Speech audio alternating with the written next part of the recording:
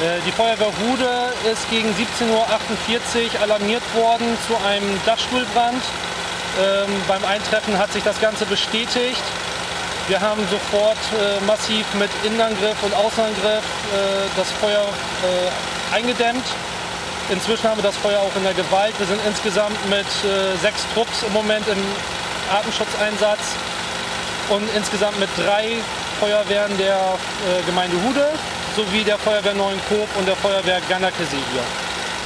Ja, wie gesagt, wir sind als erstes äh, über zwei Eingänge mit äh, Atemschutztrupps in den Innenangriff gegangen, um das weiter zu erkunden und haben zusätzlich mit äh, mehreren Trupps äh, von außen unterstützt. Dazu haben wir dann noch die Drehleiter aus Gannakesee in Stellung gebracht. Genau, es waren zwei Bewohner im Haus, die waren aber von Anfang an aus dem Haus raus und die sind jetzt bei Bekannten untergekommen.